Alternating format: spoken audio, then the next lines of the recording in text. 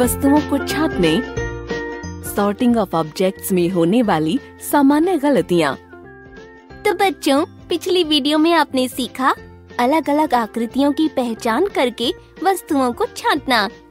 इस वीडियो में हम वस्तुओं को छांटने में होने वाली सामान्य गलतियों के बारे में जानेंगे। आज छोटू की मैडम कक्षा में कुछ वस्तुएँ लेकर आई हैं। बच्चों ये देखो मेरे पास कुछ वस्तुएँ हैं। क्या आप इन्हें पहचान सकते हो?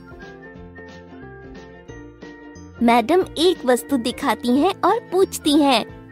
बच्चों क्या आप पहचान सकते हो कि यह वस्तु किस आकृति की तरह दिखती है? मैडम ये गोल गोल बॉल जैसी आकृति है। शाबाश आरती। सही कहा। ये है गोल बॉल जैसी आकृति।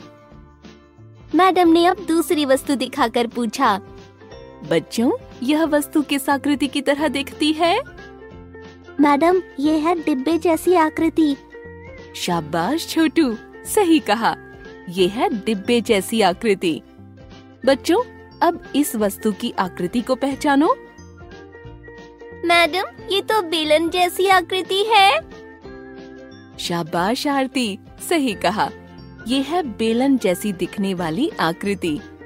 मैडम ये तो आइसक्रीम के कोन जैसी दिखने वाली आकृति है। शाबाश छोटू। सही कहा। ये है कोन जैसी दिखने वाली आकृति। और बच्चों ये है हमारे पास बेलन जैसी दिखने वाली आकृति। पर छोटू को यह समझ नहीं आया कि इन दोनों आकृतियों में क्या फ़र्क है। मैडम पर ये दोनों आकृतियाँ तो एक जैसी दिखती हैं। छोटू तुम्हें क्यों लगता है कि ये दोनों आकृतियाँ एक जैसी हैं? मैडम ये देखिए इस आकृति का तला गोल है और दूसरी आकृति का भी तला गोल है। छोटू तुमने सही कहा।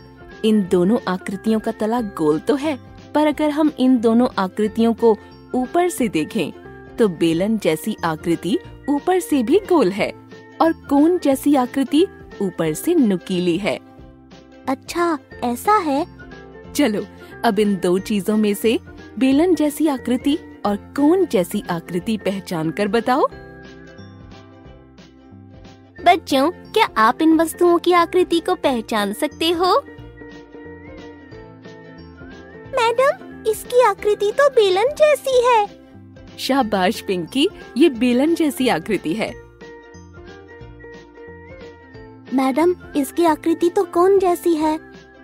शाबाश छोटू यह कौन जैसी आकृति है? बच्चों आपका भी उत्तर यही था ना? तो आपने देखा बेलन जैसी दिखने वाली आकृति दोनों तरफ़ से गोल होती है पर आइसक्रीम के कोन जैसी दिखने वाली आकृति एक तरफ़ से गोल और एक तरफ़ से नुकीली होती है। आज के लिए बस इतना ही। इस वीडियो में हमने वस्तुओं को छांटने में होने वाली सामान्य गलतियों के बारे में जाना। मुझे आशा है कि आप यह विषय ठीक से समझ गए होंगे। बाय बच्चों।